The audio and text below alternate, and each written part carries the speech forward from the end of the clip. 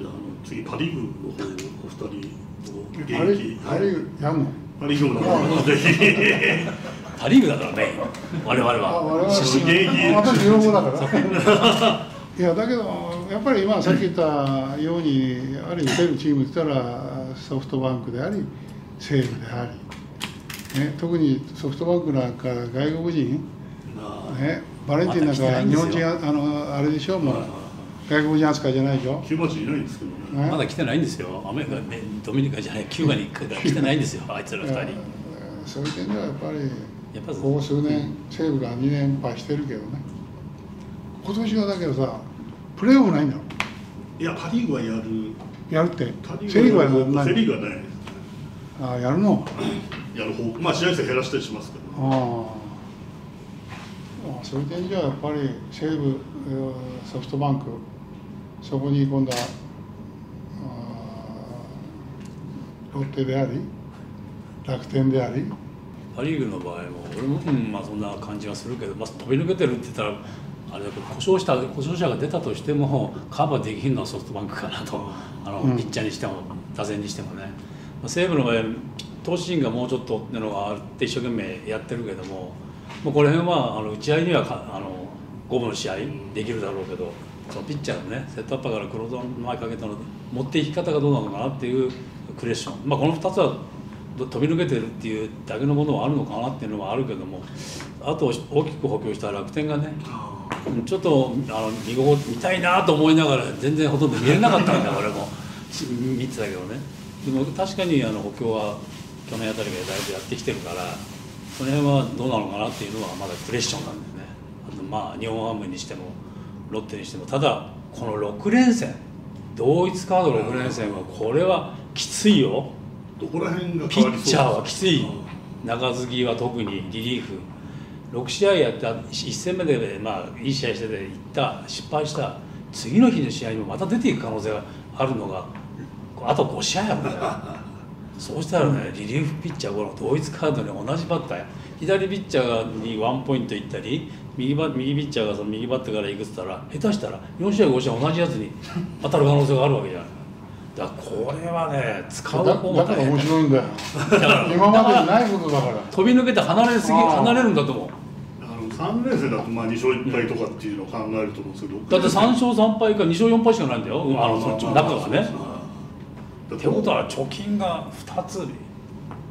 なるわけじゃん。負け負けも2つだけどその真ん中がだよ、うんそれは1勝5敗5勝1敗もあるけどさ、ん6連勝なんかやったらそれ大変でしあょだけど西武はね浅村が抜けてもね優勝するんだから。ああ秋山抜けてもあれです選手が抜けても優勝するっていうのはやっぱり私は西武のねスカウティングうん。やっぱりいい選手取ってるよな。やっぱりあのパ・リーグは DH が使えるっていう、そ大きく育てたい育てられることができるっていうことで出せだ打つだけの選手を取ることが意外とできますよね。できるなセ・リーグと違って。セ・リーグはどうしてもね打つだけだといや守んなきゃいけないっていうことがある。からね。はだけど森をねキャッチャーの森がね外野から戻したでしょ。なんで外野に戻す？あのやってねキャッチャーやらせないか。ずーっと思ってたのよ。彼はバッティングもいいんだから打てるキャッチャーなんだから。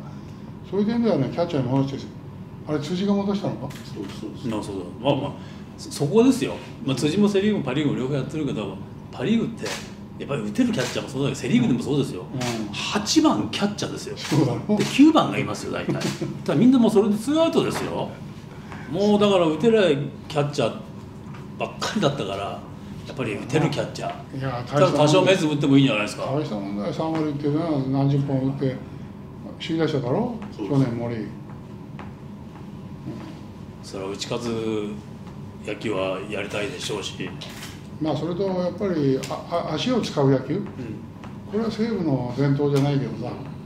まあ、広岡さんの時からの森さんの時からやっぱり機動力っていうのはものすごくあ受け継がれてるよね。まあ、必ず野手だがまず足の速いのそを取るっていうのも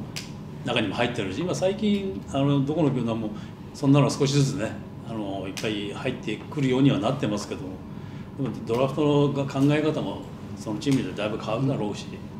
あれまあ西武もリーグ優勝してますけどソフトバンクも今日本一3連覇してて、うん。ソフトバンクの強さみたいなっていうのは改めて。なんかいざという時は強いよな。やっぱり西武とソフトバンクっていうのはよく似たチームで打てるしあ機動力を生かすし小技がやっぱり違うかな。ああやっぱり工藤のやっぱり教え方っていうんじゃないけどもあいつも西武でえーやってるし広川さんと森さんにも教わってるしそういう点ではやっぱりえーいいところを全部 ソフトバンクに持ってってそれと彼が一番あーすごいなと思うのはあ自己管理管理怪我しないようなやっぱりレクチャーしてるんですよね。技術だけじゃなく。そういう勉強を彼はね西武時代からやってた。そういう点ではやっぱり偉いよ彼は、うん。じゃあパ・リーグは西武とソフトがやっぱり上へ来て、うん。あと楽天とか、うん、じゃあだけどね私はね佐々木。はいはい。160キロ。これがやっぱり楽しみやね。大谷2世じゃないけどどんなピッチングするのかなっていうね。すごいですね。すごいよ。じゃあパ・リーグはそうかそれで最初に、まあ、さっきちょっと話してましたけど、まあ、120でというのも本当短距離レースじゃないですけど改めて先ほどもちょっと話出ましたけどどうでしょうか？実際にただねこのまず6月に始まってっていう。いやただ一つ心配なのはまああのドーム球場ならいいんだけど他の球場で流れた場合ね中止になるん。ですよどんどん中止になった時に今度はね今の選手ダブルヘッダーってやったことないじゃん。それもねあのスケジュール関係でやらないかん場合が出てくると思うんだよ。だからそのダブルヘッダーの時にどういう試合をするかっていうね我々はもう経験してるからキャッチャーなんか2キロぐらい痩せるんだから。1日で2試合やったら。だからそうなった時のあの天候次第で中身がどんどん変わってくる場合もあると思うんだよ。ドームならいいけどね。あとベンチ入りも増えるんですけど一軍登録が2人増えてベンチ入りが1人増えてここら辺でなんか戦い方変わってきそうなところそれは一人でも多い方がいいよな。どそれそのどどっち増やすかいやそのそれはそれはそのち前の試合ね例えば6連戦のうちの1試合目2試合目がとんでもないゲームになった時にはそれリリーフ入れるでしょピッチャーだったらね。でもあの今日はどんどんピッチャー変えなきゃいけない。代打も必要だった時には野手も増やさない増やすだろうしね。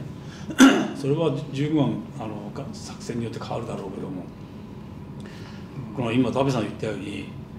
雨ねセ・リーグの場合は4つ外だよこれで甲子園でしょ？まだあの d n a はねあ人工芝それから広島は普通の芝だ甲子園は土じゃん。それ雨したらこう引っ張るだろう。今でも引っ張ってるのに今回のようなことがあったら引っ張る時引っ張った時にこう怪我がやっぱりものすごく負担。それと今までは春先のスタートで、まあ、多少雨降ってもっていうけどこれからのね暑いじゃん。でまだマスクもして試合はしないだろうけどこの管理はとんでもないと思うよ。いきなりサープレーボールがもう6月7月みたいな気温だからね。30度ぐらいになるじゃん。まあそれはドームの場合ク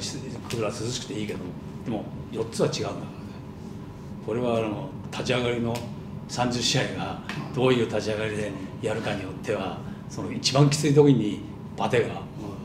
1ヶ月経った時にだってね練習キャンプもそんなにやってないもう練習試合もな十何試合しかしてない。さあプレーボールで連戦して大変だと思うよ。だからピッチャーもバテがすごい1ヶ月経ったら出てきような気がするけどね。今年はね 何が起きるかわからんのよ。もうコロコロナのねまあ県から始まってはいこれからスタートした今までにないことが出てきて当たり前ですよ。その時にどうやって対応していくか。田口さんだったらそのベンチの枠が1人増えたらやっぱりピッチャーですか？まずピッチャーでしょそりゃそうでしょだから今言ってさ森重が言ったようにこっちがね中継ぎがどんどん前6連戦で使わなきゃいけないんだからそれは酷使してあ肩が痛くなりましたっていう選手が大事な選手が出てくるかもしれないんだから。そんな負けゲームに使いたくないやつもいっぱいいるだろうし。ただそそれがねその日は今日はエースだともうそう簡単にはってなればそれなりの方をいるかもかない。野手野手だもんねでもだ代打もピッチャーのところにそう簡単に送るエースエースもないし、野手そんなにいるってことはないわけじゃんそうすると走って守り最後に守りだけの人もじゃあ入れとこうかっていう時もあるかもわかんないから、まあ、それはもう、相手とのそうそう兼ね合いとかその 6, 6年生の何試合目かによってだいぶ変わると思うけどねまあそんだけ、まあ、ベンチワークみたいなのはやっぱりもうそりゃそうでしょうあとあの延長10回で引き分けになるんで多分引き上げも増えると思うんですけども。いやそれはもうこういう時期だからそれはしょうがない。よ選手の体のことも考えてやらなきゃいけないし。まあ延長10回で試合切れちゃうってなると多少系統とか多少変わってきますか？ういやそれはあの引き分けに持ち込みたいっていうチームも当然出てくるだろうし、まあ、あのクライマックスがあるわけじゃないからね、まあ、あセ・リーグの場合は。だったらやっぱりあの勝率でいくわけだから、うんその絶対あの2位まあ3位より2位の方がいいだろうし2位でも1位でも一緒だっていうことではないからね。でもやっぱり引き分けのが負けるより引き分けの方がいいわけだから、うんそれだったら引き分けを狙いに行くってことも投げるが投げる方も考えていくと思うよ。同点であの勝ちパターンのあれそう終わらせたことはね。さっき外国人の話出ましたけど要は5人一軍登録で4人出場同時5人までベンチを受ける。外人？外国人、うん。これから獲得する球団とかも。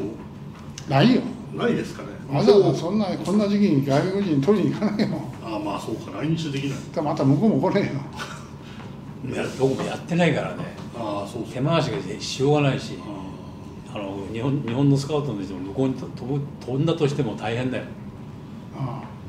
だから事前に前前前までやってたっていうやつの下調べはみんなどっかみんなしてるけど、うん。これはもう今動飛んだり動いたりするのが難しい。あだって 1A、2A みんなカットじゃない。みんないないだから本当今今のうちに今のうちのさいちゃんの方がいいんだよ。そうそうそうそう。これからいいのいっぱいいるんだよ。ただそれを動かには動く方もちょっと危険があるんだよ